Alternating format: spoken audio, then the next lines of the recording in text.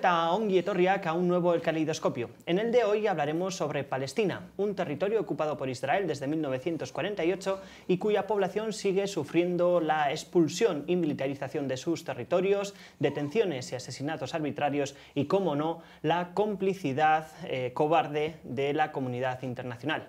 Hablamos de Palestina porque recientemente acaba de volver de allí una delegación vasca de personas eh, pertenecientes a diferentes colectivos, también cargos políticos, periodistas y con las que contamos con tres de ellas en este plató, en esta en esta Tantaca Televista. Por un lado, con Kepa Torrijos, Kaiso Kepa, eta ongi torri. Kaiso mi. También Virginia Enebral, Kaiso, eta ongi torri. Y Diego González. Muy buenas, Kaiso Diego. Bueno, muchas gracias por estar aquí con nosotras. Decíamos que estáis recién llegados ¿no? eh, de Palestina y la idea un poco de la tertulia de hoy es que nos contéis ¿no? qué es lo que habéis visto. Pero antes de empezar, Kepa, eh, tú perteneces a Sodepaz. Sodepaz es la asociación, es una organización que se dedica a la cooperación, al desarrollo y que también participa activamente en la solidaridad con Palestina. ¿Por qué? ¿Por qué es importante que personas, ¿no? Eh, diferentes personas, en vuestro caso con esta delegación y otras que habéis organizado, conozcan la situación de Palestina? Bueno, Maneco, pues porque hacer una imagen vale más que mil palabras muchas veces, ¿no? Y creemos que es importante que, que, como has dicho, personas que tienen algún tipo de responsabilidad, ya sea política, pública, en el ámbito periodístico, en el ámbito de, de organizaciones, conozcan de primera mano qué es lo que está pasando realmente en, en Palestina, ¿no? Y poder así hacer de altavoz dentro de su organización y hacia, hacia el público de Euskal Herria ¿no? de qué es lo que está pasando realmente. ¿no?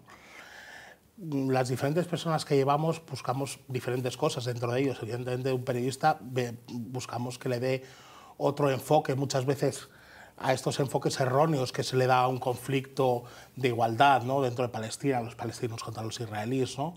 Al cambio también de, de lenguaje dentro de, del propio eh, mundo periodístico. ¿no? Evidentemente, con los cargos públicos buscamos posicionamiento, que es muy importante. ¿no? Buscamos declaraciones institucionales y buscamos que haya mucha mm, coherencia de políticas. ¿no? Uh -huh. Con las organizaciones, evidentemente, lo que hacemos es, o lo que buscamos es sinergias para seguir trabajando con la solidaridad del pueblo palestino. Uh -huh. Que conozcan, que pertenezcan a organizaciones, que tengan un cargo de responsabilidad, ¿no? Y sobre todo en ese cambio, en ese clic, ¿no? Si ya están comprometidas, que aún vuelvan todavía más comprometidas. Después hablaremos de, de, eso. Yo no sé, Virginia, Diego, si era la primera vez que ibais a Palestina, que viajabais a Palestina, que conocíais la situación eh, de primera mano. ¿Qué es lo que más os ha llamado la atención?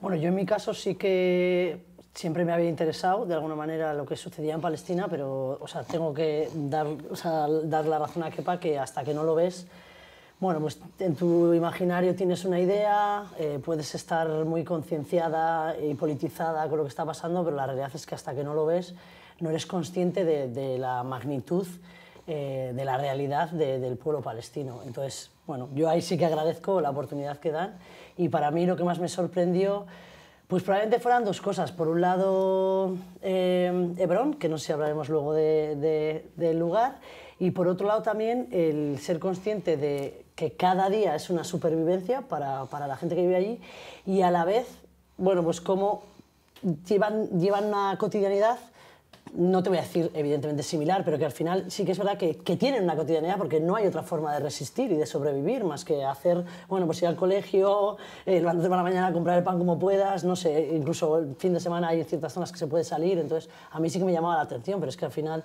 es que para, resistir hay que sobrevivir, ¿no?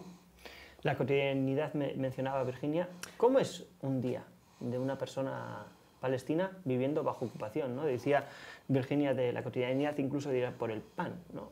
¿Cómo es, Diego? Hombre, a ver, evidentemente yo coincido con lo que ha dicho Virginia, ¿no? que una cosa es saber y haber leído y conocer por las noticias lo que pasa allí. Quizás no hemos ido tampoco en el momento más duro de los que se pueden vivir eh, según las temporadas y según eh, lo que en ese momento decida el Estado de Israel, pero, pero es verdad que la cotidianidad del día a día, pasar los checkpoints, que, que, un tipo de 18 años decida si pasas o no pasas, si puedes llegar a tu trabajo o no, eh, si puedes ir a ver a tu familia o no, eh, esa cotidianidad opresiva es eh, la que vives y la que pues, realmente pues, yo creo que todas las personas que hemos compuesto la delegación hemos vuelto muy tocados, pese a saber lo que había, del hecho de estarlo viviendo pues, minuto a minuto allí. Los checkpoints son los controles militares, ¿no? Vamos a, para que las personas que nos están viendo lo puedan entender, que hay más de, de, 500 controles militares. Bueno, algunos son checkpoints, otros son rocas, son bloqueos en carreteras, eh, etcétera pero que imposibilitan ¿no? esa movilidad de la población eh, eh, palestina. Y un pueblo ¿no? que dentro de esa cotidianidad, ¿no? ya el mero hecho de ir a por pan es un acto de resistencia. ¿no? Hay, un, hay una frase muy repetida en Palestina, ¿no? existir es resistir. No lo sé. Sí, sí, existir es resistir porque le están o sea, realmente desde Israel quieren que dejen de existir. Quieren eh, que el pueblo palestino desaparezca y para ello están llevando una política de, de apartheid y de expulsión del pueblo palestino y todas las políticas, porque no es una política, digamos, una política específica que vaya en contra del pueblo palestino. Todas las políticas israelíes están diseñadas en todos los ámbitos para una apartheid hacia el pueblo palestino, en educación, en vivienda, en salud, en agua, en, en terrenos, todos, todos. Entonces, eh, eso se convierte en un, problema diario de convivencia, no de convivencia, de, existir para el pueblo palestino. ¿no? Entonces aquí vienen las, diferentes maneras de resistir que tiene el pueblo palestino y que ha tenido históricamente. Ahora mismo el pueblo palestino está resistiendo y hace un llamado internacional para que no se les olvide y porque creen que también una de las llaves eh, más importantes la tiene la comunidad internacional, ¿no? a nivel político y a nivel de la gente y de presión, ¿verdad? No sé si quieres aportar algo más, ¿no? Esa resistencia que caracteriza también al, al, pueblo palestino, ¿no? Que es una de las cosas que engancha también de Palestina, que es su gente.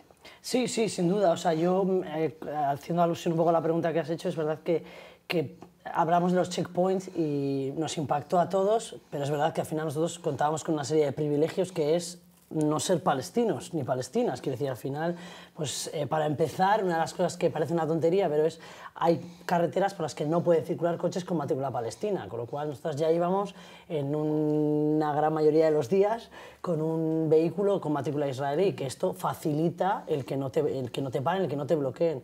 Pero claro, eh, como decía Diego, al final depende mucho de, bueno, pues del, humor que tenga ese día el, militar de turno, gente además muy joven, que ya estamos, bueno, creo que es más o menos conocido que al final hay un servicio militar obligatorio de entre dos y tres años para toda la población israelí, con lo cual estamos hablando de 18, 19, 20, 21 años a los que les colocan pues, en los checkpoints, a los que les, bueno, les colocan en, en, en una posición de poder que te da ser militar y que entonces aquello es una especie de, bueno, no sé, de, libre albedrío casi en el que te permites hacer lo que consideres con una impunidad absoluta y que impide pues, a familias verse, a gente ir al colegio, o sea, bueno, a chavales y chavalas, o sea, una serie de, es lo que decía Kepa, al final es cada detalle de tu vida cotidiana se ve eh, influida por, por, por, políticas de apartheid, por políticas de ocupación, por, por todo. Hablando de las eh, ciudades, ha mencionado Virginia Hebrón. Digo, yo no sé ¿qué, qué ciudad es la que más te ha podido llamar la atención. Pues yo creo que coincido en Hebrón también. O sea, la situación de la cantidad de... Descríbenos, eso es. Hebrón, ¿por qué? La cantidad de checkpoints que, que, existen en toda la parte vieja y sobre todo, pues bueno, hay una calle que es una calle principal que en la política que tiene el Estado de Israel de crear como una separación entre la comunidad eh, israelí que vive allí, eh, que es un asentamiento, que es un, asentamiento de ocupación ilegal, pero bueno, que el Estado de Israel los protege y eh, la mayoría de población palestina, pues bueno, generan espacios que los separan, ¿no? Pues argumentando la seguridad.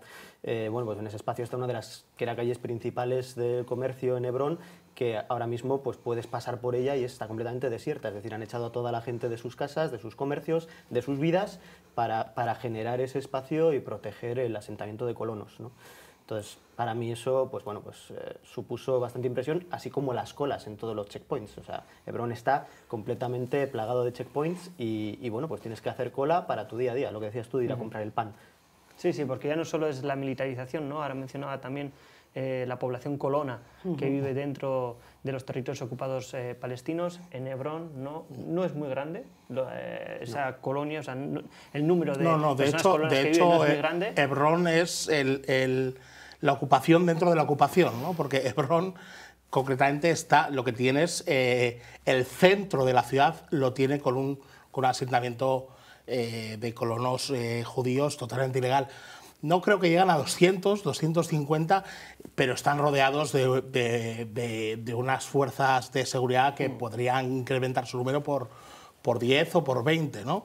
Entonces lo que han hecho ha sido matar una ciudad.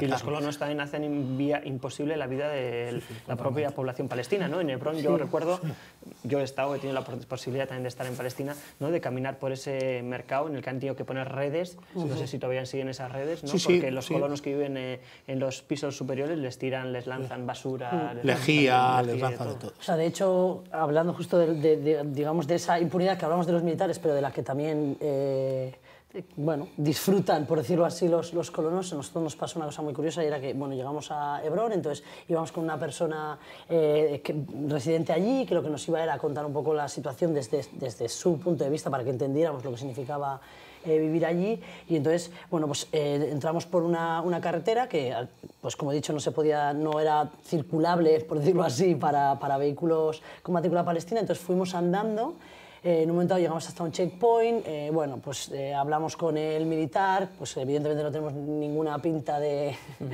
de ser de allí, nos dejó pasar, pero ya cuando nos volvíamos apareció un colono con el que ya esta persona, este hombre palestino, había tenido sus más y sus menos, porque de hecho nos contaba que había atropellado a un menor o que no le había socorrido, y el colono desde luego iba con la cámara en una actitud súper amenazante, pues con esta idea de yo te puedo grabar, esto puedo pasárselo automáticamente a las fuerzas de seguridad y tú vas a tener un problema y yo no voy a tener ninguno.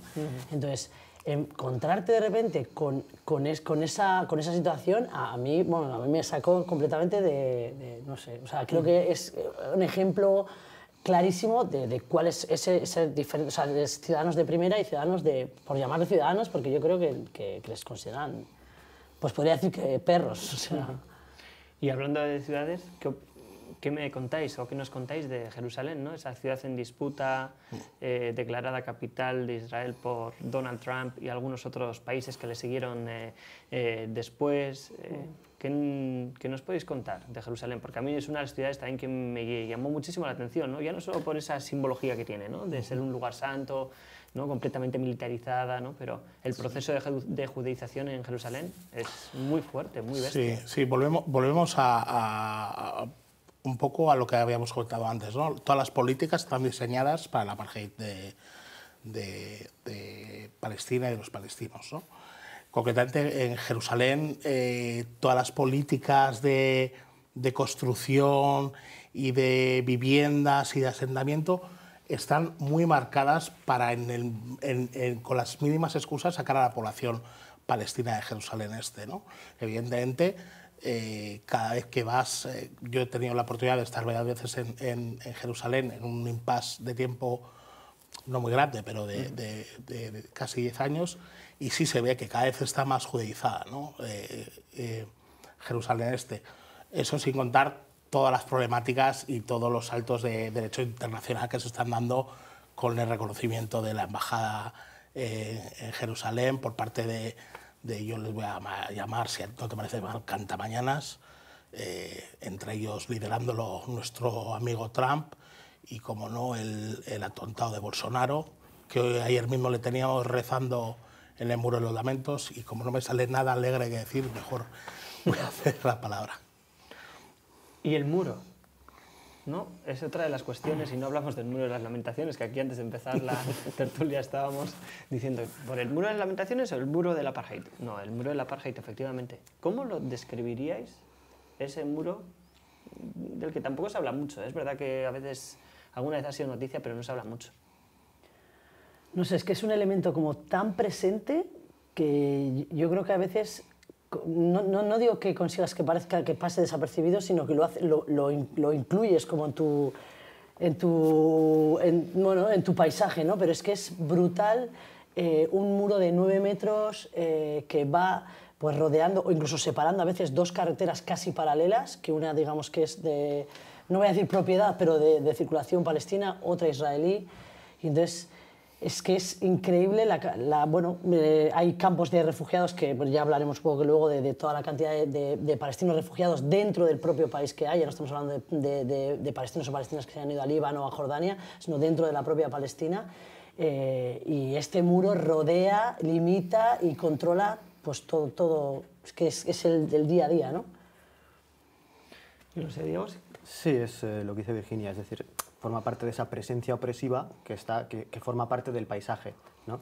Yo ahora me acordaba también, pues bueno, cuando decías Jerusalén, Jerusalén es un, microespacio, por así decirlo, donde puedes hacer, eh, puedes observar el conjunto de, opresiones que se dan, ¿no? Pues por ejemplo, el campo de refugiados que hay en Jerusalén, donde puedes ver el muro que lo rodea, ¿no? Y cómo, pues al final tienes que hacer un vertedero dentro, pues, que no tiene servicios de nada, no tiene servicio de recogida de basuras, no tiene servicio de limpiezas, es decir, todo eso que la, que la ley, la legislación internacional obliga al Estado ocupante a proporcionar a, la ciudadanía, a, las personas civiles que, viven en el territorio, Israel lo niega como derecho.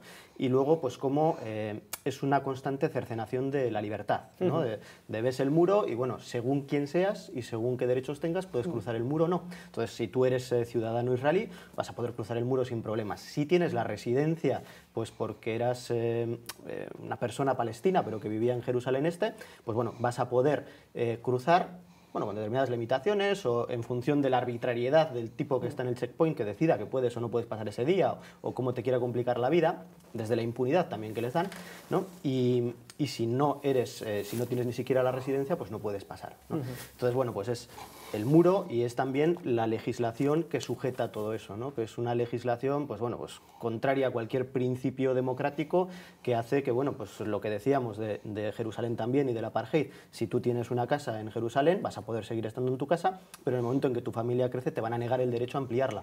A tu vecino ciudadano israelí sí, le van a dar permiso, pero a ti no porque es una forma de que te vayas ¿no? y vas a tener el derecho y si te marchas durante tres años ya no vas a poder volver. Entonces, es una legislación que está creada y pensada pues, para ir expulsando a los palestinos de su territorio. Tengo entendido que habéis estado también en un tribunal militar.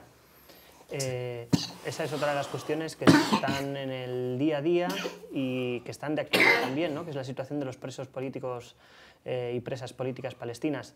Eh, ¿Cómo fue eso de ir a un tribunal militar? Bueno, o sea, yo creo que es una de las experiencias, si no me equivoco, luego ellos hablarán por su parte, pero yo creo que es una de las experiencias más duras que se pueden vivir allí. ¿no? Al final, eh, ya de hecho de entrada, con estos privilegios que hablo de que disfrutamos, eh, intentaron impedirnos la entrada dos veces, estuvimos como tres horas esperando a entrar, luego llegas, eh, tienes un primer control, hay como un kilómetro, kilómetro y medio solo para lo que es el tribunal, que detrás de ese tribunal está la cárcel, nosotros solo accedimos al tribunal. Eh, tienes unos controles férreos de entrega de pasaporte, entrega y te olvidas, o sea que entregaos, eh, de chequeo, o sea, de, cacheo, perdón, eh, bueno, no sé, una serie de controles hasta que pasas y nosotros pasamos porque pues tenemos esos privilegios, digamos. Luego había familias ahí esperando ocho horas a que les dejasen pasar. Lo que llaman tribunales no dejan de ser como barracones militares bueno, es que no sé, imaginaos un barracón que, puede tener 10 metros cuadrados en los que hay un jurado, eh, eh, lo diré, el, fiscal o el, abogado defensor, eh, un soldado y, las personas juzgadas, que estamos hablando de supuestamente deberían ser adultos, en muchos casos son menores de 12 a 17 años, menores a los que entran con esposas en los pies, esposas o grilletes y en las manos a las que les liberan las manos, pero no los pies, en los que el militar que está ahí le está haciendo la traducción porque el juicio eh, se da en hebreo y evidentemente hay mucha gente palestina que no habla hebreo, que no, no tiene por qué conocer esa, esa, lengua y el militar obviamente traduce lo que le da la gana. Entonces, es una cantidad, es una serie de, de violencias sistemáticas eh, que es, como decía Diego, una vulneración de, de, de derecho y de leyes, de leyes en toda regla. Entonces, bueno, no sé, es como, la verdad es que yo creo que es de las experiencias más duras que se pueden tener. Me imagino que compartís la misma opinión. Yo, yo os quería preguntar, añadir además, ¿no? que frente, porque a nosotras que hemos también participado ¿no? en otras delegaciones, Em, frente a todas estas ¿no? atrocidades, lo duro ¿no? de la situación, ¿no? de lo impactante que es para nosotras también ¿no? ir, ir allí, conocer, ¿no? conversar con las personas, con la gente palestina, etc., lo importante que es el grupo también. ¿no? no sé si habéis hecho grupo, no sé si tenéis alguna anécdota también, ¿no? o sea, que, que, que nos pueda romper o, eh, este momento ¿no? de, tan duro de lo que estamos contando? Porque hay cosas bonitas que pasan también. Sí, sí, bueno, de hecho yo creo que es muy importante que, que, el humor esté presente, te quiero decir el humor dentro de lo que cabe, porque es una forma de, al final utilizamos el humor como una forma de escape a, a todo lo que está pasando, ¿verdad? Entonces, a mí me parece importante, en ese sentido yo creo que ha sido un grupo eh, muy divertido en muchos aspectos y que ha dado ese esa, escape de válvula ¿no? que necesitas para todos estos momentos tan, tan duros. Yo ya te digo, como decía, he repetido y sigue siendo igual de impactante, igual de duro. ¿no? Entonces, yo creo que ha sido un grupo muy bonito, muy dispar, pero muy, muy cohesionado y me ha gustado bastante la, el grupo. ¿Y qué compromisos han salido? ¿no? Porque hablábamos también ¿no? que uno de los objetivos era que saliesen esos compromisos, ¿no? que removiese, ¿no? Que, no, que os removiese por dentro. A partir de ahora, ¿qué? ¿Qué podemos hacer desde aquí?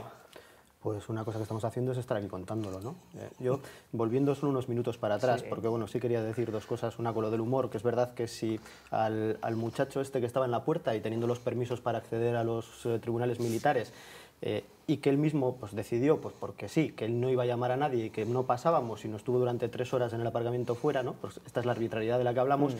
si a este no le hubiéramos estado pues, llamando piolín y, y, haciendo chantas entre nosotros, pues igual no sé cómo hubiéramos acabado, eh, no sé si a pedradas con él, pero no, no, probablemente mm. no, porque tiene las de ganar, como siempre.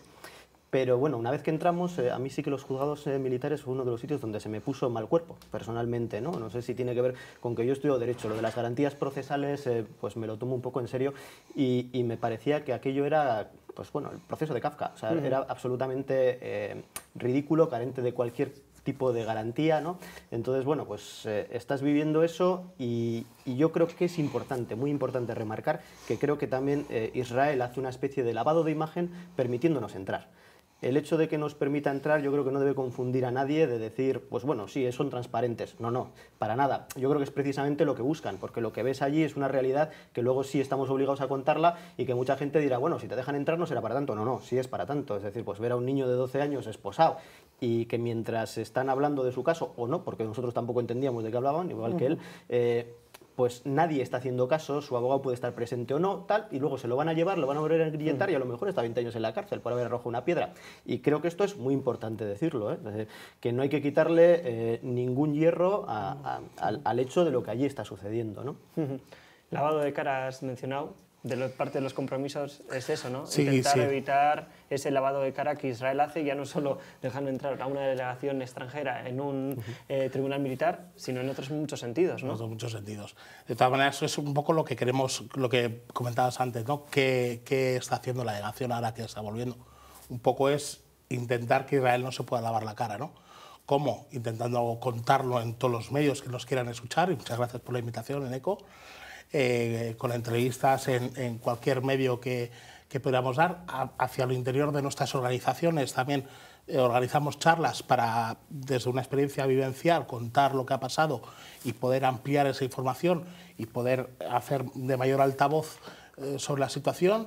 Y luego se están haciendo unas cosas muy bonitas. Después de la rueda de prensa se presentó un manifiesto uh -huh. al que invitamos a todo el mundo a firmar. Luego, si quieres, se menciona se han metido declaraciones institucionales en algunos ayuntamientos para intentar impulsar a nivel político eh, eh, pues un poco eh, lo que está haciendo Israel y denunciarlo. También por parte de un compañero se han lanzado algunas preguntas al, al Parlamento Europeo. Entonces, y, y, tenemos muchas ganas de hacer muchas más cosas y, por supuesto, hablar ahora de, de Eurovisión o del boicot o de lo que tú quieras. Sí, eso te quería pre pre preguntar. Pues exactamente en el manifiesto ¿no? se, se hace un llamamiento ¿no? a la campaña de boicot, desinversiones y sanciones, una campaña que lanzó el pueblo palestino en 2005. Más de 100 organizaciones palestinas lanzan esa campaña. Ya tiene ya más de 10, 14 años. Eh, no sé, vosotras habéis traído también ese compromiso ¿no? de, de, abrir ¿no? esa, esa campaña lo máximo posible también aquí. Sí, o sea, yo creo que por un lado a mí me sorprende, y vamos a hablar ahora de la campaña, pero sí que me sorprende como esta incapacidad, yo no sé si casi es innata, de, de, como de posicionarte claramente, o sea, y tiene mucho que ver con ese lavado de cara, ¿no? que al final hablas con la gente y es como, bueno, tal, pero habrá que... O incluso gente que va de turismo y dices, no, vayas de turismo a Israel. No, bueno, habrá que conocer las dos partes. No hay dos partes, ¿no? Y, y nadie se lo plantea, por ejemplo, si haces una mención al apartheid sudafricano, a toro pasado, pero en cambio a la gente como que le cuesta, ¿no? Y entonces cuando hablas de boicot es como, bueno, pero ¿qué se va a boicotear, no? Porque a ver si una empresa privada o una startup, ¿no? Hablando de startups, que el gobierno vasco ya ha hecho ahí su, su gran acuerdo, eh, bueno, ahora se va a abrir un, un hotel en el Arenal, eh, algo, algo haremos, todavía está eh, un poco por, por definir, pero bueno, sí que es verdad que desde el pueblo palestino, una de las cosas que principalmente decían, evidentemente, además de la presión eh, de la comunidad internacional que reclamaban, es decir, eh, hay que posicionarse, o sea, lo que no podéis es sacar resoluciones que se quedan en papel mojado, que no sirven de nada, que quedan muy bonitas, pero que vosotros no estáis ni sancionando a Israel, ni obligándole a, bueno, a cumplir eh, las numerosas resoluciones, a que cumplan el, el derecho internacional. Entonces, bueno, una de las cosas que decían era que el BDS, que es boicot, desinversiones y sanciones, sí que es, está haciendo daño. ¿Por qué? Porque da directamente a esa imagen que Israel pretende ¿no? montarse eh, y además porque suele tener como mucha repercusión mediática, ¿no? Al final, pues que haya, eh, si no me estoy equivocando, me parece que eh, los que eran los candidatos o las candidatas a, a estar en Eurovisión de eh, Gran Bretaña Inglaterra, siempre me lío, me parece que habían dicho que no querían. Entonces, bueno, este tipo de cosas que al final a nivel mediático tiene mucha repercusión y va creciendo, pues dan un poco no golpean ahí y desde el pueblo palestino decían, o sea, por favor, seguid porque es una herramienta internacional de presión. Es una herramienta de presión, una herramienta que además no, es, no pretende un boicot individual, sino es eh, colectivo, presionar a Israel para que cumpla con el derecho internacional, con tres claros objetivos, que es el fin de la ocupación, el derecho al retorno de la población refugiada, también que ha comentado Virginia antes, y también la igualdad de derechos para los palestinos y palestinas que viven dentro de Israel. Hemos salido a la calle en Bilbo para preguntar a las personas, a diferentes ciudadanos y ciudadanas, si saben dónde se va a celebrar este año Eurovisión. Lo vemos y después lo comentamos. ¿Sabéis dónde se va a celebrar Eurovisión este año? No, no, ni idea. ¿Lo sabes? No. Sí, claro. Irán, ¿no? Irán, Israel. Israel, hostia, perdón. Eh, creo que es en, en Israel. Eurovisión. Pues no. No lo sigues. no lo sé. Ni idea. ¿No lo sabes? No lo sabes. Ni idea, no. Se va a celebrar en Israel. No. ¿Sabes? Se va a celebrar en Israel. ¿Quién ganó Israel, no? El año pasado. Sí. Pues en Israel. Israel. Pues me parece mal, primero que participe, porque no entiendo por qué tiene que participar. Esa es una pregunta que yo me he hecho siempre. Y en segundo lugar, pues eso, mm, según se están portando con los palestinos, pues fatal. Se celebra porque se supone que ha ganado la anterior edición, ¿no? ¿Eso es? Quiero creer. y Hasta ahora se ha respetado eso siempre. Eh, se violan muchos derechos humanos en muchos países. donde se celebre, pues eh, eh, da igual. Eh, El caso al final es que, o sea, el caso de todo esto es que, que- que todos, todos par- participen, yo creo. Es que Eurovisión tampoco sigo, pero teniendo en cuenta que Australia lleva participando desde hace años, es como, a ver, a mí no me gusta, entonces no opino. Creo que a cualquier persona un poco congruente le parecería lamentable que, que celebren eh, un festival en un país donde hay una masacre y pasa lo que está pasando. Yo no soy partidaria de ningún aislamiento, de ningún boicot, está claro, pero sí que es verdad que serían fórmulas de intentar hacer presión pues, para que los derechos humanos se, eh, se respeten y luego no se venda tanto paripé y tanto pues, Eurovisión y no entiendo que habría que empezar por lo fundamental y por tanto pues, no permitir esos espacios de apertura cuando realmente pues, sus políticas no, no están llevando a eso. Bueno, sí, eh, pero no tiene una cosa que ver con la otra. Esto es un poco más el tema cultural, más el tema eh, de la música, del arte. Yo creo que no podemos mezclar todo ahí en un contexto. Poco. Debería darse más en clase. Sí, Ese se habla- tipo habla problemas poco. de actualidad deberían visibilizarse más, eh, dar ese tipo de cosas de actualidad en clase y, y no se hace. Y en las noticias igual, porque yo veo las noticias casi todos los días y también se habla poco de lo que pasa día a día en, en Palestina y en otros países que igual, por ejemplo, en, en Yemen están muy mal, que eso lo estoy mirando por un trabajo de clase y no se habla nada de Yemen. Pues bueno, que ojalá se arreglase el mundo porque mm, creo que cada vez está peor. Y es muy triste. Que te dan ganas de decir eso que decía este, de que paren el mundo, que me bajo, porque a veces es insufrible. Bueno, yo no sé si nos vamos a bajar o no nos vamos a bajar de este, de este mundo. Bueno, habéis visto que hay eh, opiniones encontradas. Agradecer a todas las personas también que nos han respondido en, en la calle. Eh, pero bueno, yo sí creo ¿no? que hay ciertas dudas también cuando viene un festival como Eurovisión, se celebra en Israel, ¿no? Todo esto, el- lo que has dicho, ¿no? Una de las personas entrevistadas, mezclar cultura con política, que qué cosa es esto. Pero esto también es un lavado de cara de Israel, ¿no? Evidentemente, nos queda mucho, mucho, por lo que hemos visto, nos queda todavía mucho trabajo por hacer de- para explicar, porque pues, no, no se llega a todo el mundo y hay que hacer más, más labor en ello, de por qué el boicot, el tipo del boicot, que no solo es un boicot eh, a nivel económico, sino a nivel eh, eh, cultural y a nivel de otras muchas cosas, y el por qué, ¿no? Y el por qué. Mm, como han dicho también, no disponemos de los medios masivos de, de comunicación porque pues es algo que a veces puede incomodar, no se le puede dedicar todo el tiempo necesario, no interesa dedicarle todo el tiempo necesario, pues entonces tendremos que buscar otros medios alternativos para llegar a este tipo de gente. ¿no? No sé si queréis hacer algún último comentario porque tenemos que ir terminando ya. Bueno, que la esperanza es este chico de la mochila, ¿no? que parece que, que sí está un poco puesto de lo que está ocurriendo en el mundo ahora mismo. Pero bueno, lo que está ocurriendo en Palestina lleva ocurriendo más de 50 años, entonces creo que es algo que nos debería concienciar más. Cuando hablábamos del lavado de cara y de lo que, de lo que está ocurriendo y cuando hablamos de, de Eurovisión, hablamos también de esto.